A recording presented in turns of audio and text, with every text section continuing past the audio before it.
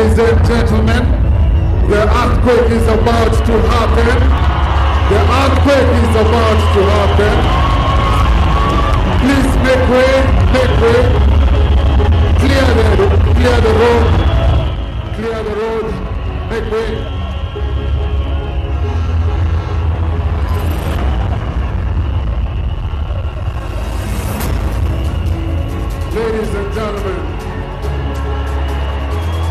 Excellency, Deputy President William Samoei Arap Ruto.